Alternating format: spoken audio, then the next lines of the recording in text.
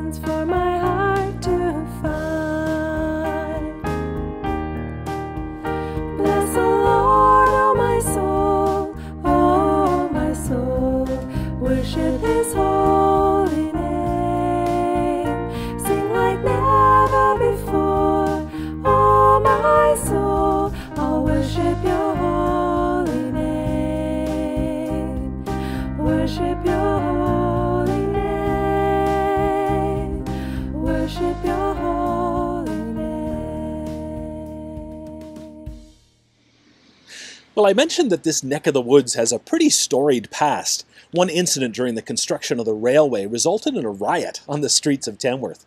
The problem came in October of 1884 when a railway contractor failed to pay 65 Italian laborers who had been shoring up ties and rails.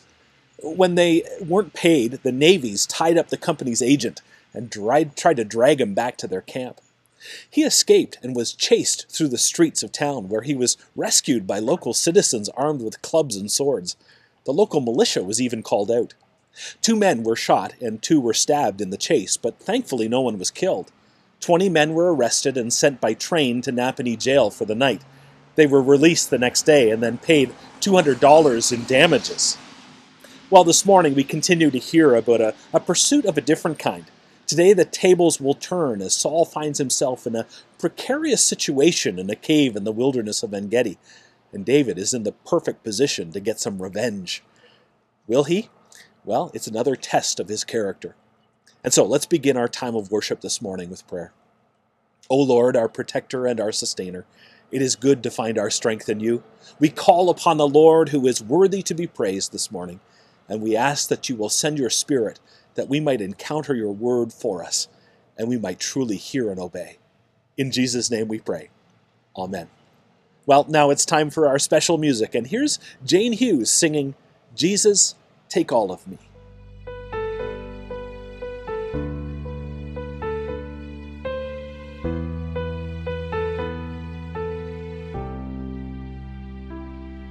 Just as I am without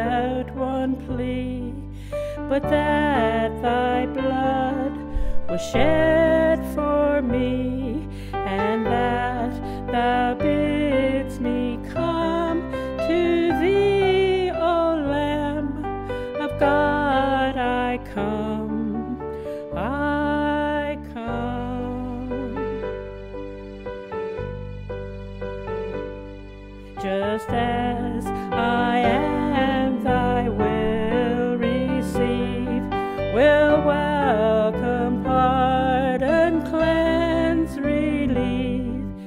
because thy promises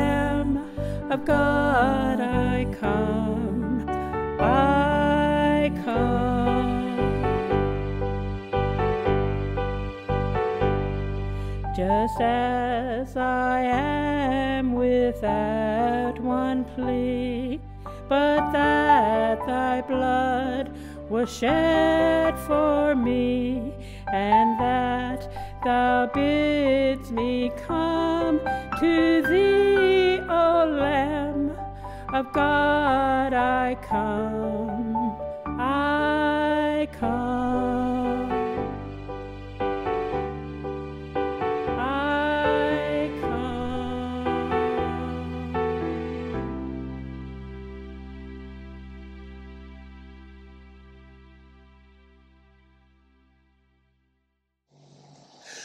Well, just over my shoulder here is the old hotel, and you can see that it's been here for a while.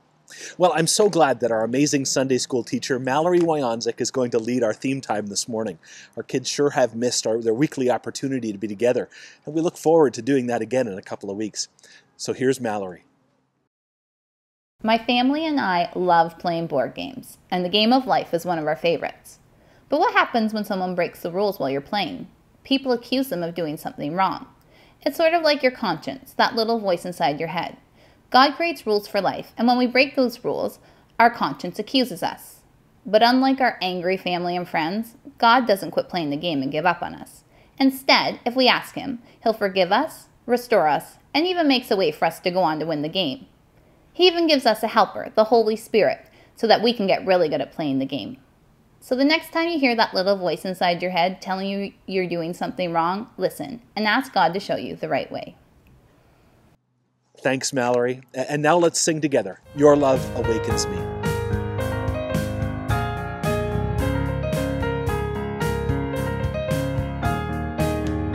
There were walls between us. By the cross, you came and broke them down.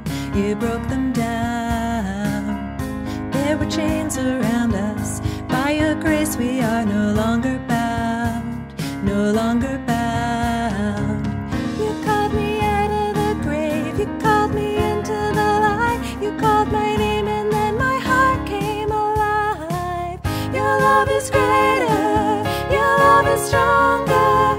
Your love awakens, awakens, awakens me. Your love is greater. Your love is stronger.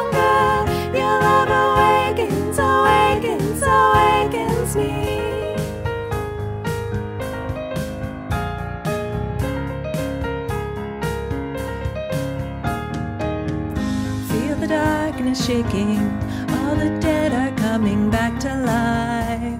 I'm back to life.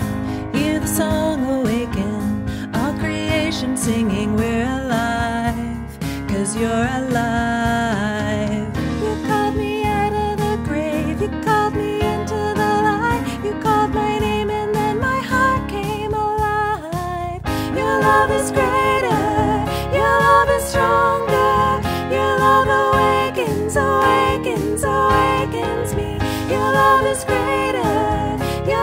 Stronger. Your love awakens, awakens, awakens me.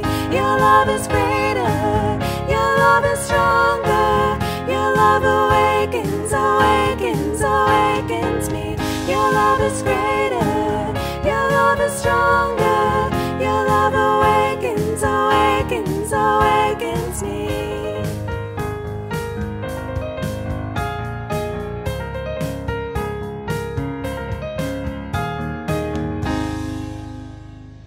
Well, today is the seventh week of our sermon series called Character Under Construction, where we're looking at the Old Testament book called 1 Samuel and the character named David to think about what Christian character is and how we can develop it in our own lives.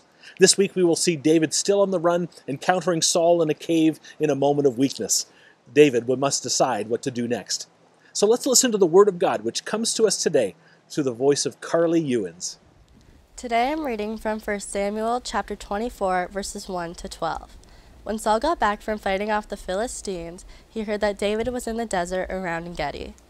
Saul led 3,000 of Israel's best soldiers out to look for David and his men near Wild Goat Rocks in Engedi. There were some sheep pens along the side of the road, and one of them was built around the entrance to a cave. Saul went into the cave to relieve himself. David and his men were hiding at the back of the cave. They whispered to David, The Lord told you he was going to let you defeat your enemies and do whatever you want with them. This must be the day the Lord was talking about. David sneaked over and cut off a small piece of Saul's robe, but Saul didn't notice a thing. Afterwards, David was sorry that he had even done that, and he told his men, Stop talking foolishly. We're not going to attack Saul. He's my king. I pray the Lord will keep me from doing anything to harm his chosen king. Saul left the cave and started down the road. Soon, David also got up and left the cave. Your Majesty, he shouted from a distance. Saul turned around to look. David bowed down very low and said, Your Majesty, why do you listen to the people who say I'm trying to harm you? You can see for yourself that the Lord gave me the chance to catch you in the cave today. Some of my men wanted to kill you, but I wouldn't let them do it. I told them, I will not harm the Lord's chosen king. Your Majesty, look at what I'm holding. You can see it's a piece of your robe, and if I could cut off a piece of your robe, I could have killed you. But I let you live, and that should prove I'm not trying to harm you. Or to rebel. I haven't done anything to you, and yet you keep trying to ambush and kill me. I'll let the Lord decide which one of us has done right. I pray that the Lord will punish you for what you're doing to me, but I won't do anything to you. This is the word of the Lord. Thanks, Carly. And now, let us pray. O Lord, what we know not, teach us. What we have not, give us. What we are not, make us. For Jesus' sake. Amen. I remember back when I was in sales and had a big meeting with an organization's top brass, my sales manager gave me some advice. Just remember, he said, these guys put their pants on one leg at a time, too. It's a bit of an odd thought, but strangely, I found it helpful. When encountering people who wield power and decision making authority, we can sometimes turn them into more than they really are. It's helpful to keep in mind that they are humans with the same kind of limitations as everyone else. Well, today, perhaps chapter 24 of 1 Samuel offers us a similar insight.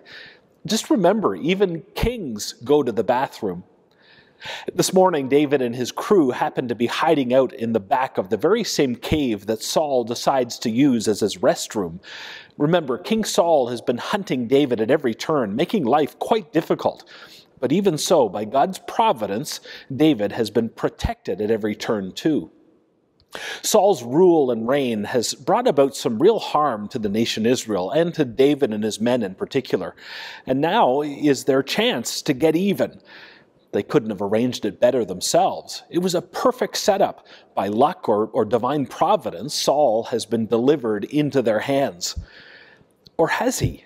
Could this be yet another test along the way, another metric to measure how David's character building construction project is going? Vengeance, the way that we get even with those who do us wrong. We learned this early on. Your little sister hits you, you hit her back. But the lessons carry on later in life too. But there's one problem, one inconvenient truth. Scripture tells us, Vengeance is mine. I will repay, says the Lord. And so David creeps up behind Saul while he's indisposed in the darkness of the cave. But instead of taking Saul's life, he takes the corner of his robe. Now, this is not as insignificant as it sounds. Remember, the royal robe is a deeply symbolic garment. We saw this with Jonathan back in chapter 18 when he gave David his robe and his sword, symbolizing the giving of his authority and his power. And so when David cuts Saul's robe, he is making a powerful symbolic gesture about who is really worthy to be king. So, how has David done this morning? Would you say that he gets a gold star for character? Well, maybe, but the text says the strangest thing. It says, Afterward, David was conscience stricken for having cut off the corner of his robe. Sure, David didn't kill Saul, which is clearly a sin and counter to God's law, but did he do the right thing? Was Saul's robe really his to cut? After all, David knows that Saul too was God's anointed, and until God brings about a regime change, he still is God's appointed king over Israel.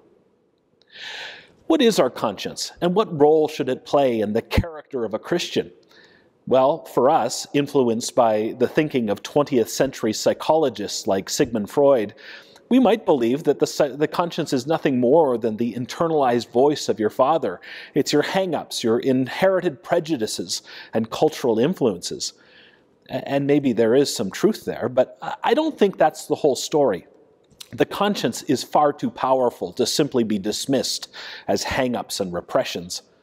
No, the conscience connects us with something that is beyond ourselves. It connects us with the external order of what is good and what is not good what theologians call the natural law.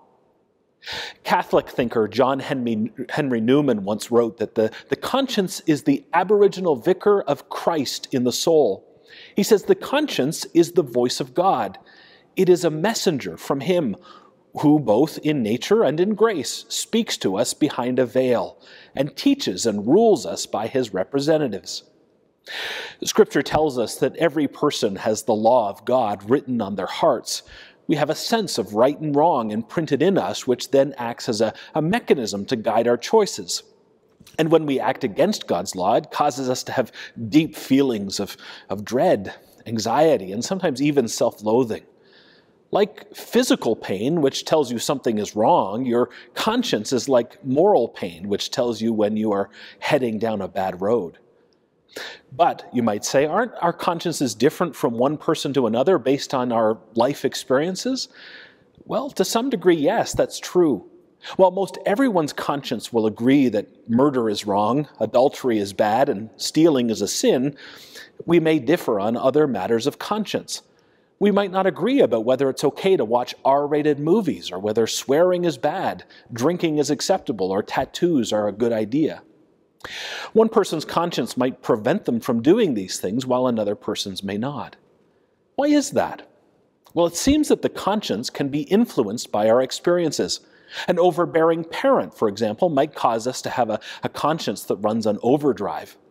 Some people's conscience is so overbearing that they turn to drugs or extreme activities to try to escape it.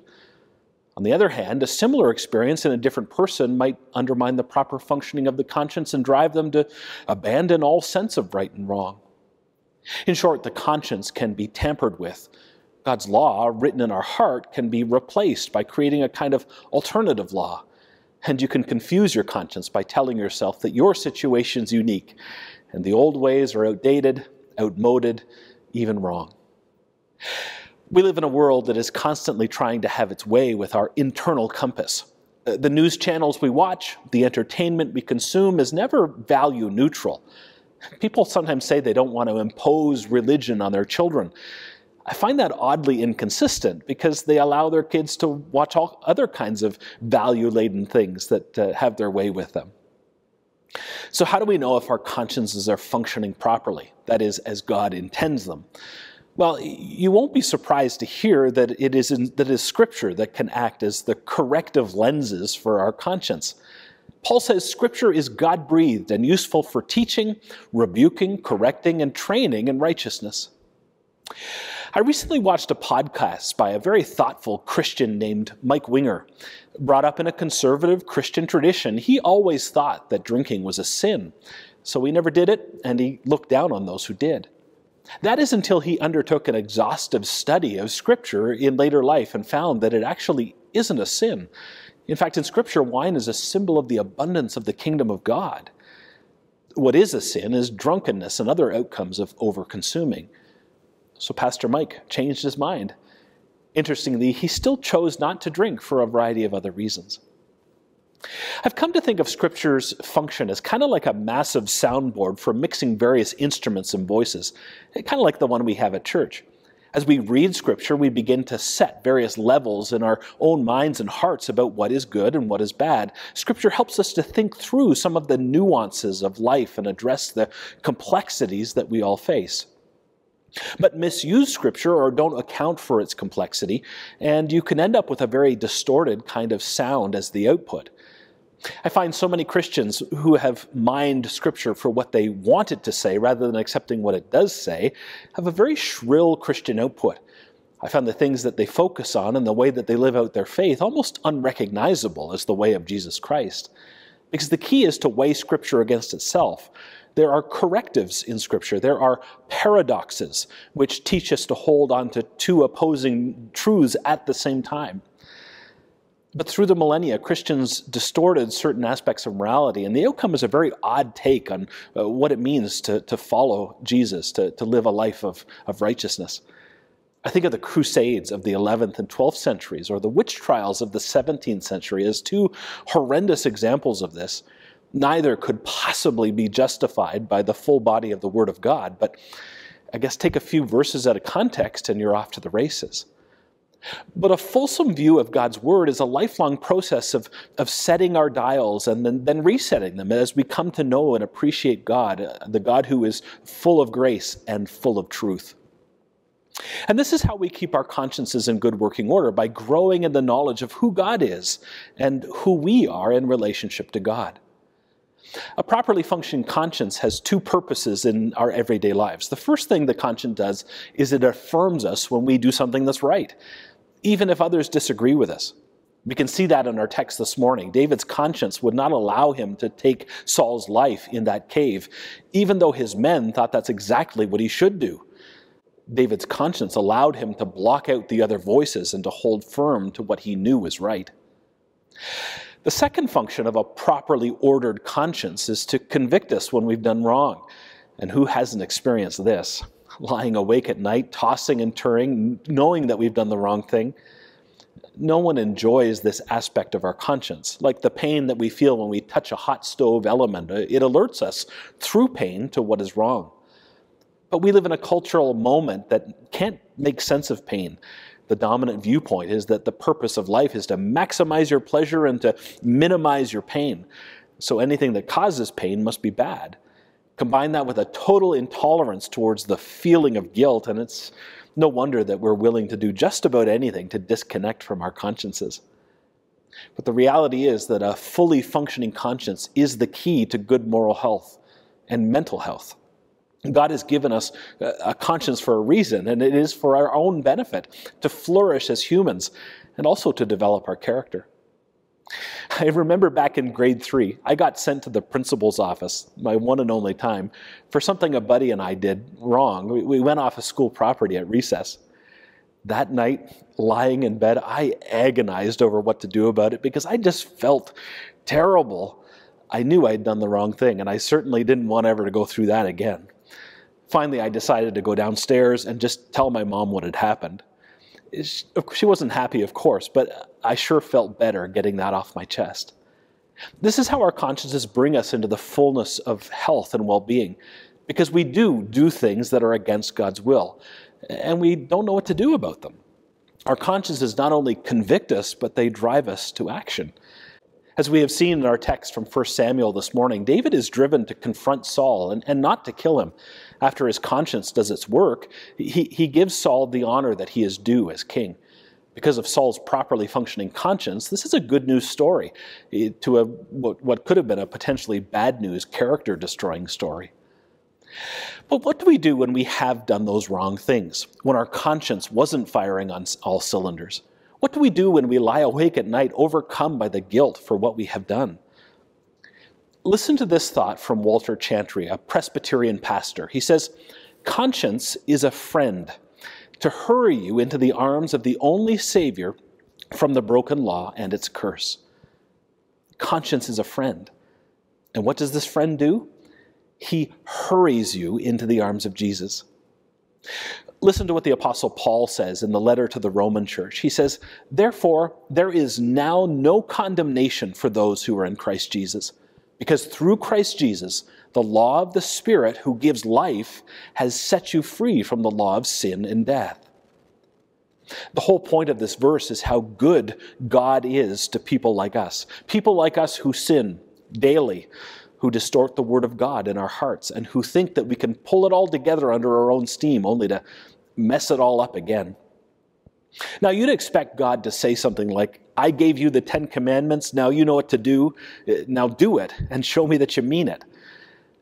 But God's actual answer to our sin is not the Ten Commandments and getting all up in our face about what we've done wrong, but God's answer is the Holy Spirit getting up in our hearts. That's what it says in Romans 8. Therefore, there is now no condemnation but the Spirit who gives life has set you free. And it is our conscience, this God given gift for people like us, that ultimately drives us to recognize our need for a Savior. God is scanning the horizon this morning, listening for people who will finally admit that they can't do this on their own. How do we come to that conclusion? When the weight of our burden of failure becomes too much to bear, and we finally let down our guard and cry out for help. And then God comes. God comes on the wings of a dove, as the old hymn says, and enters into our hearts and says, Let me bear this burden with you. Let me take your sins to my cross. This is the gospel of Jesus Christ. Therefore, there is now no condemnation for those who are in Christ Jesus. So, what's weighing on your conscience today? What past thoughts, words or deeds continue to weigh you down, even after all this time, maybe this is something only God can deal with for you. All it takes is a prayer Lord, have mercy on a sinner like me. And that's a prayer that Jesus is dying to answer. Thanks be to God. Amen.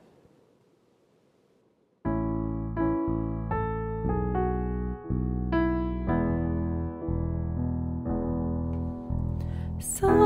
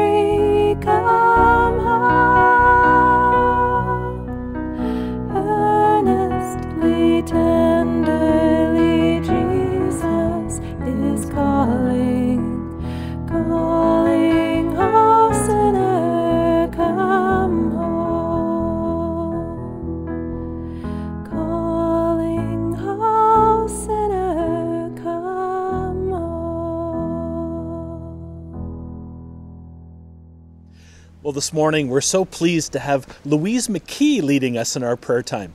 So here's Louise. Good morning, everyone. Let's bow our heads in prayer together this morning. Heavenly Father, we come to you again this morning with deepest gratitude for your continued and numerous blessings. After several weeks of nasty wintry conditions, the sunny skies and milder temperatures have buoyed our spirits. And as the light of each day noticeably lengthens just a tad, we feel renewed hope in the promise of spring drawing closer. As the COVID restrictions are lessened once again, and as the previously staggering statistics start to improve gradually in this, as well as in neighboring regions, we offer our sincerest thanks once more that we have weathered another wave and that we can soon be thinking about resuming our in person worship here in the Selby Sanctuary. We rejoice in simple pleasures, like our technology, which has allowed us to remain united in myriad ways during these prolonged times of mandated distancing. Our ability to openly profess our faith and to worship you when so many other Christians in various parts of our world cannot. The privilege to sing hymns, to read scriptures, to pray, and to be prayed for thinking specifically now of our prayer partners in the parishes of the Tyendinaga Anglican and Land O'Lakes Emmanuel United, and to minister to the needs of those within our families and community by being your church and offering provisions, prayers, company, and consolation to those we can readily assist. Lord, we bring to you now in silence the names of those individuals who are weighing on our hearts and minds this morning, asking that you show us even more ways in which we can be a blessing to them.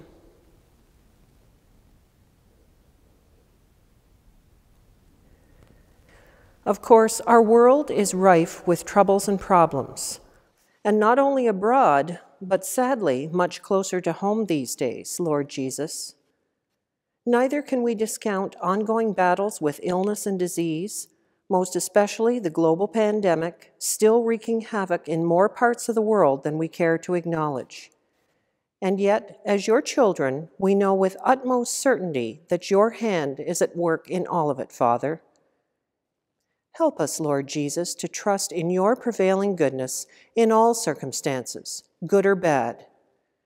Help us to sense your grace and your comfort and your wisdom in all things, so that we need not fear whatever lies before us. Teach us to wait expectantly in faith, knowing that your grace is sufficient at all times, as is promised in your holy word. We've heard Reverend Mike speak to us this morning about conscience, determining and directing how we should best behave as followers of Christ, and giving us reasons to turn to you frequently as our consciences react and respond to the demands of everyday living. Bless us, Heavenly Father, as we exercise and develop our conscience muscles. And as we close in prayer this morning, dear Lord, we ask that you continue to keep us close to you throughout the coming week, to replay and to revisit the components of this worship service in our minds and our hearts as we conduct our daily routines and business in the course of the next six days.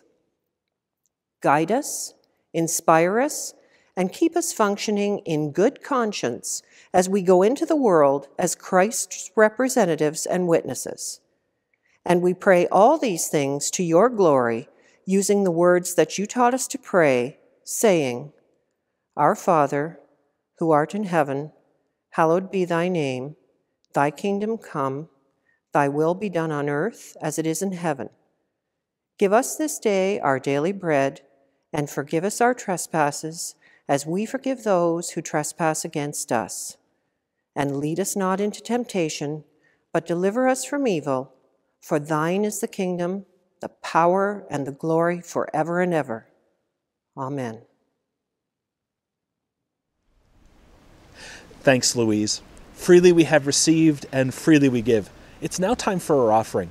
If you'd like to send your offering this morning to support the work and ministry of this church, you can do so by mail, by e transfer, or by joining our automatic banking option called PAR. And so, with much gratitude for your unwavering support of God's work in our community, I offer this blessing. These are the work of our hands and the love of our hearts. May they be a blessing to this community and the wider world. In Jesus' name, Amen. Well, now it's time to join in our closing hymn. Let's sing together Come, O Fount of Every Blessing.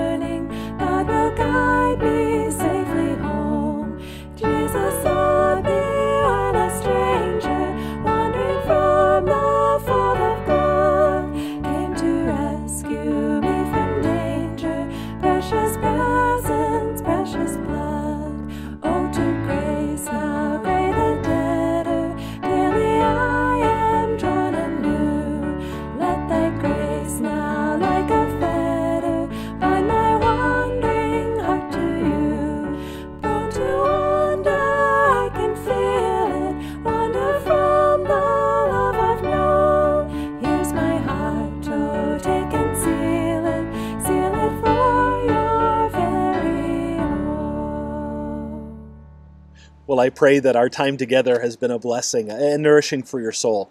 Just two reminders on February 27th, we plan to return to in person and live streamed services. We look forward to that. And also on March 27th, we plan to have our annual congregational meeting. We look forward to that too. And so, looking forward to a God filled week. Go with this blessing. The Lord bless you and keep you. The Lord make his face to shine upon you and be gracious to you. The Lord turn his face toward you and give you peace. Go now in peace. Amen.